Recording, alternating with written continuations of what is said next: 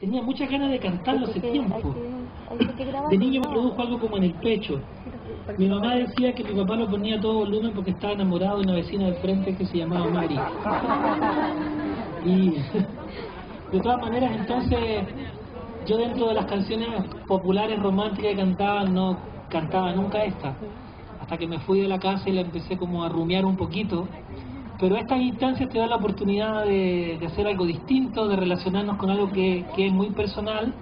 eh, y precisamente por eso no, no, elegí una canción de la cantautoría tradicional latinoamericana revolucionaria, como sé que me, que me queda muy bien a veces porque me gusta mucho a mí hacerlo y porque es parte de mi formación, sino que elegí una, una canción de tono romántico, hermosa, de un cantante que se fijó en algo bien especial, siendo argentino, agarró la onda de los mariachis vivió en México, después se fue a España, agarró un poco de lo español. Y en esta canción resume un poco de eso, un tanto de Argentina, un tanto de México,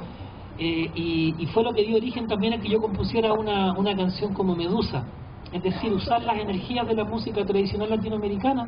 pero con otras formas melódicas u otras, otras claves sonoras. Eh, un gran creador de melodía, que una letra sencilla le puede dar un valor increíble en su emocionalidad, ojalá que lo pueda lograr también como, como sucede en, el, en esta canción de Leo Dan que se llama Mari.